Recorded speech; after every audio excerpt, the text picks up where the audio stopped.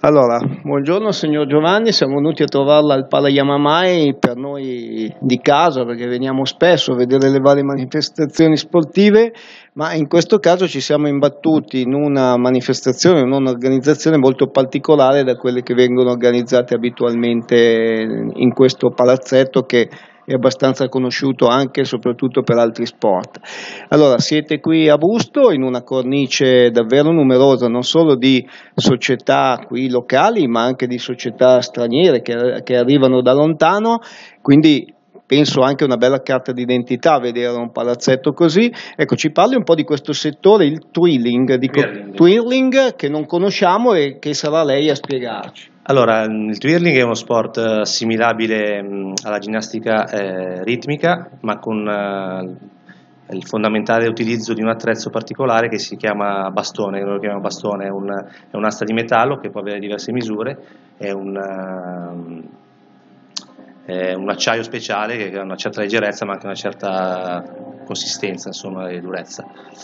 E, ha due pomelli di gomma e la parola twirling significa proprio far ruotare in inglese, quindi eh, lo sport si basa proprio sulla, uh, sul movimento del bastone che uh, ruota in continuazione durante gli esercizi eh, o eh, vicino al corpo, comunque a contatto con il corpo, oppure anche con dei lanci eh, lontano dal corpo. Ecco, ma che attinenza c'è con lo sport, credo quasi similare, che si fa in acqua?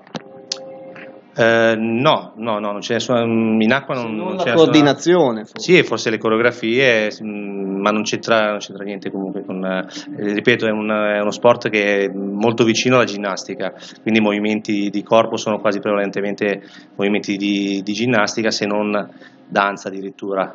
E qui a Busto mi diceva c'è una campionessa in questo settore. Allora, Busto Arsizio tra i suoi atleti, la, la, la società che si chiama Propatria Bustese, twirling, eh, annovera tra i suoi atleti una campionessa del mondo che si chiama Chiara Stefanazzi e che adesso è passata dall'altra sponda facendo il, il tecnico, eh, insomma anche il tecnico molto valido, e però insomma nel, nel palmarès di, di, questa società locale c'è appunto un grandissimo titolo mondiale che è molto raro, molto raro. forse eh, come solista diciamo come esercizio di freestyle è l'unico che abbiamo in Italia ecco, nella storia. Senta, organizzare una manifestazione come questa in ambito credo europeo, perché ho visto anche nazioni arrivano dall'estero, cosa vuol dire soprattutto cosa vuol dire farlo al Palais Mamai in, in, un palazzetto insomma, che di spazio ne ha ioso? Allora, devo dirle che noi siamo stati eletti il 30 di luglio del, dell'anno scorso, del 2016, come Consiglio federale, io sono vicepresidente della federazione, eh, ci siamo trovati questa cosa tra capo e collo. Per organizzare un evento del genere normalmente ci vogliono dai 15 ai 20 mesi. E quali no? erano le sedi che erano state proposte? Eh, c'era un palazzetto a Torino eh, un palazzetto a Milano ma aveva dimensioni troppo grandi. E poi il, il Palais Mamai che come dimensioni e come comunque eh, logistica era ottimale. Quindi con l'aiuto appunto della, anche de, de, qui in questo caso del, di, di, Augusto Stefanazzi in particolare eh, siamo riusciti a ottenere il palazzetto a condizioni veramente molto agevolate da, dal comune e dalla, dalla, dalla Unendo. Ecco, tutti gli anni si fa in nazioni diverse questo, questi Allora, il campionato europeo è, mm, è alternato eh, con il campionato mondiale, ovvero un anno c'è il campionato europeo e un altro anno c'è il campionato mondiale. L'anno scorso il campionato mondiale è stato in Svezia ad Helsingborg, quest'anno ci sarà appunto il campionato europeo e non ci sarà quello mondiale, l'anno prossimo ci sarà di nuovo il campionato mondiale che sarà eh, in Florida. E com'è l'Italia rappresentata in questo sport? Allora, a livello internazionale eh, diciamo che siamo una, una, tra le più forti, anche se eh, non la più forte. Sicuramente mh, competiamo molto con la Francia e anche magari con gli Stati Uniti, ma mh, che la fa la padrona comunque il, è il Giappone insieme agli Stati Uniti, che sono le, diciamo, le nazioni molto, molto forti le, che fanno un po' sempre man bassa di medaglie alla fine. Ecco, siamo alla giornata conclusiva, se vogliamo tirare una riga.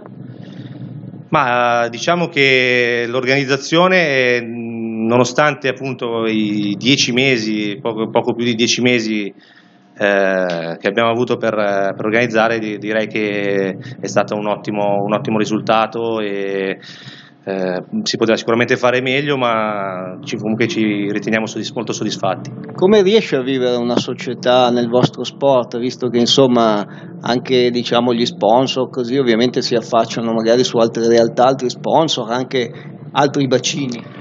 Allora, devo dire che noi dal punto di vista di sponsor siamo, siamo messi malissimo perché abbiamo, tutti gli sponsor ci considerano uno sport che non ha visibilità, pertanto fanno molta fatica ad investire. Eh, quello che le posso dire, e di questo sono orgoglioso, è che noi siamo riusciti quasi senza sponsor ad organizzare questo campionato. Eh, per farle capire, noi abbiamo, dagli sponsor abbiamo ottenuto solamente questi cordini che, che, vedete e delle maglie per i volontari. Quindi chi è che vi viene incontro? Solo la federazione? La, federa eh, la federazione, che in questo caso è parte in causa, nel senso che è stata proprio lei a organizzare, eh, e poi la federazione mondiale in parte, perché quando ci sono queste competizioni, in base al numero di iscritti, di persone iscritte, ehm, dà comunque un contributo per poter organizzare, che comunque è una cosa relativa. Un'altra problematica di tutti gli sport è dove farlo. Voi come siete messi sotto questo? Allora, noi eh, abbiamo la, le società, comunque le, le, persone che si vogliono avvicinare a questo sport devono ovviamente eh, andare in delle palestre, lo sport è, è prevalentemente, prevalentemente in, palestra, in palestra e, e, deve avere una certa altezza, anche qui è una difficoltà perché molte palestre magari sono bellissime però non hanno una, un'altezza tale per poter eh, usare il bastone, l'attrezzo nel migliore dei modi perché ha bisogno proprio di altezze minime. Ecco, lei mi contraddirà, mi dirà stai dicendo una fesseria, però è conosciuto come uno sport tipicamente femminile. È uno sport tipicamente femminile, infatti il, non, non, voglio dare numeri, però il 90-95% degli atleti sono eh, donne, sono di, di, sesso femminile, però c'è da dire che le, i pochi maschi che, eh, fanno, che, praticano questo sport poi alla fine sono i migliori, nel senso che le performance migliori sono fatte dai, dai maschi. Benissimo, se vuole aggiungere ancora qualcosa, visto che siamo appunto in conclusione e comunque in conclusione anche di questa manifestazione, che poi la lasciamo andare perché avrà eh, molto da, da, fare. Ma posso aggiungere che mm, noi siamo molto soddisfatti come, come Consiglio federale come, e come federazione di, di, come sta andando questo, questo evento, speriamo in futuro di ripeterci e niente, in bocca al lupo per, per la federazione. Grazie mille.